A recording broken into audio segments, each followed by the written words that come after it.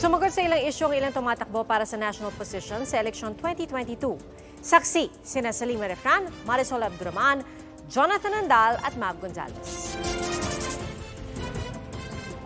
Kasama ang ilang senatorial candidates, nag-courtesy call si Mayor Isko Moreno kay Bangsamoro Autonomous Region and Muslim Mindanao Chief Minister Alhaj Murad Ibrahim sa Cotabato City.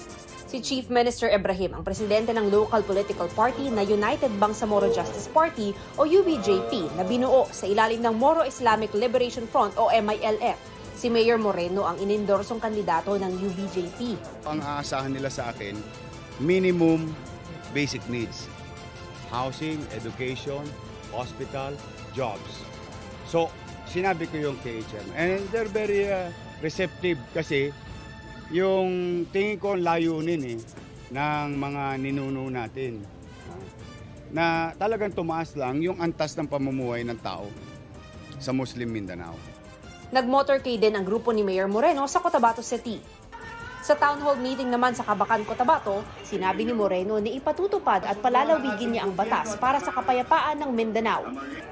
Dumaan din ang grupo sa provincial capital at nag-courtesy call kay Governor Nancy Catamco. Nag-motorcade din ang alkalde sa Kidapawan City. Wala namang public activity ngayong araw ang kanyang running mate na si Dr. Willie Ong. Suportado ni Senador Ping Lacson ang peace talk sa CPP, NPA, NDF sa panayam ng Bombo Radyo, iginiit niyang hindi na dapat si Communist Party of the Philippines founder Jose Maria Sison ang kausap. Yung uh, peace talks, ano, dapat ituloy ito, pero localized. Hindi na pwedeng ang kausap natin yung nasa Netherlands. Ano kausap doon, parang wala namang kontrol na si Joma Sison dahil maski mag-deklara uh, siya ng ceasefire, pero na nangyayari atrocity sa mga NPA. Sagot ni Sison, kapag sa localized talks, malalagay ang usapang pangkapayapaan sa kontrol at pagmamatsyag ng militar. Dagdag ni Sison, consultant lang siya ng CPP-NPA.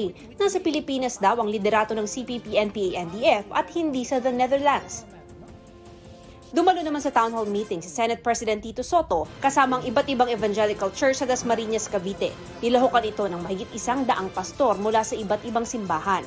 Mungkahi ni Soto, gumawa ng database ng mga lehitimong magsasaka at iba pang maliliit na negosyante para madaling matukoy ng gobyerno kung sino ang dapat makatanggap ng ayuda at pautang. Nag-viral ang video ng motorcade ni Bongbong Marcos sa Caloocan City nitong Sabado. Makikitang tila biglang binawi ng dating senador ang kanyang kamay mula sa isang humawak sa kanyang kanang braso. Sa mga video ng GMA News noong ding Sabado, nakunan din ang ilang ganitong pagkakataon. May mga pagkakataon ding ang kaliwang braso naman ni Marcos ang kanyang iniiwas. Paliwanag ng kampo ni Marcos, hindi raw umiiwas si Marcos sa pakikipagkamay. Bagkus, iniiwas lamang daw nito ang brasong may sugat malapit sa pulso na nagka-impeksyon. Nasugatan daw kasi si Marcos nang makalmot ito sa motorcade sa Cavite noong unang linggo ng kampanya. Kahapon, naglabas ang kampo ni Marcos ng litrato niyang ipinapakita ang gasa sa kanyang kaliwang braso. Pero puna ng mga netizen, kung kaliwang braso ang may sugat, bakit kanang braso ang nakuna ng video na iniiwas nito sa motorcade sa Caloocan? Normal na reaksyon yun pagka ikay nakurot, hindi ba? No, normal na reaksyon yun kapag ka ikay nagalusan o medyo napiga yung iyong kamay, eh instinct yun eh.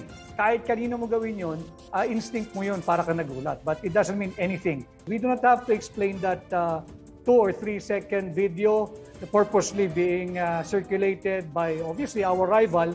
Dumalo si Marcos sa tangkatandem niyang si Davao City Mayor Sara Duterte sa birthday celebration ni Pampanga Vice Governor Lilia Pineda. Doon muling iginit ng alkalde ang plataforma para pasiglahin ang mga trabahong nilugmok ng pandemya at pagpapatuloy ng mga proyektong pang-infrastruktura. Sa isang pahayag naman, sinabi ng partidong Lakas CMD na hindi nila kukonsintihin ang ginagawa ng ilang grupo na ipare si Inday Sara sa ibang presidential candidate. Git nila si Marcos ang kanilang kandidato sa pagkapangulo. Hinarap ni Senador Manny Pacquiao ang ilang political at sectoral leader mula sa Northern Luzon sa headquarters ng Team Pacquiao sa Makati. Naniniwala si Pacquiao na hindi totoo ang Solid North matapos niyang makuha ang endorsement ng mga leader. Aminado si Pacquiao na mas malakas sana ang kanyang partidong PDP laban kung solid ang partido. Kaya bukas siya makipagkasundo sa Pussy Faction. Giit niya, siya pa rin ang party president. Ang sinisigap ko ay magkaisa ang lahat ng ano, uh, magkaisa ang lahat ng uh, ah, PDP at uh, Makusi wing ka man o wing ka man. Nanghinayang ako dahil ah, nagkahiwa-hiwala yung ah, PDP. Uh, naway magkaisa.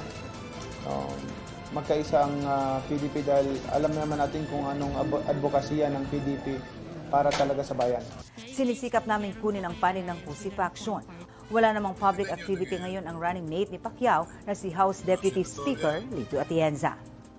Walang public activity ngayong araw si Vice President Lenny Robredo. Pero sa isang press release, sabi ni Robredo, dodoblihin niya ang buwan ng ayuda sa mga maralitang senior citizens sa bansa sa oras na maluklok sa palasyo. Mula 500 piso, gagawin itong 1,000 na mas makatotohanang halaga raw para tustusan ang pangangailangan ng mga nakatatanda. Target niyang gawin ito nang hindi magdaragdag ng buwis. Samantala, nagpahayag ng suporta sa kanyang kandidatura ang labing-anim na mga dating opisyal ng gobyerno. Nagpasalamat naman si Robredo sa kanilang pagsuporta. Wala ring public activity ngayong araw si Senator Kiko Pangilinan.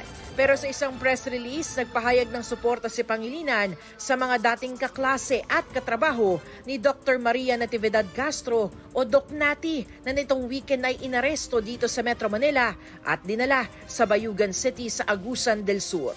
Paalala ni Pangilinan ayon sa Saligang Batas, lahat ng Pilipino ay may karapatang sumailalim sa tamang proseso bago o habang hinuhuli. Hindi raw pwedeng hindi niya alam kung bakit siya hinuhuli at hindi rin daw dapat siyang tinatago sa kanyang mga abogado at mga kaanak. Nasa Cebu si Calyodi de Guzman kasamang isang senatorial candidate.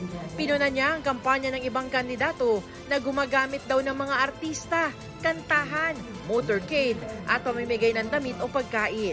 dahil hindi nila alam kung paano ipapaliwanag yung problema natin, ang ginagawa nila, nagpapatawa na lang, nagtitiktok, nagsasayaw, nagpapakanta.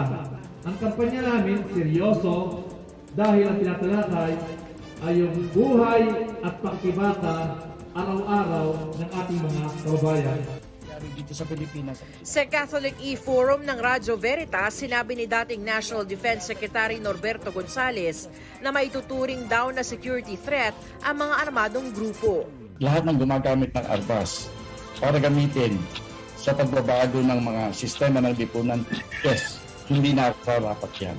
Kunyari sa CPP, NDF at saka NPA equation, lagi nating sinasabi na ang kailangan yung roots of the rebellion ng ating tinitignan.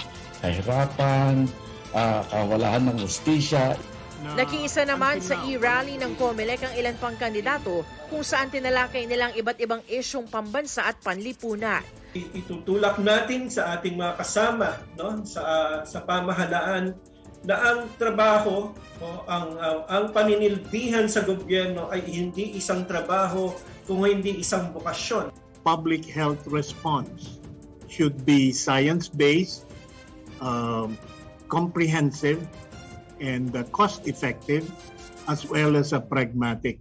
Walang schedule ng aktibidad ngayong araw si Presidential Candidate Ernie Abella at Vice Presidential Candidate Walden Bello. Dumalo naman sa isang radio interview si Presidential Candidate Joey Montemayor. Ako si Sanima Refran. Ako si Marisol Abduraman. Ako si Jonathan Andal. Ako si Mav Gonzalez, ang inyong Taxi! saksi.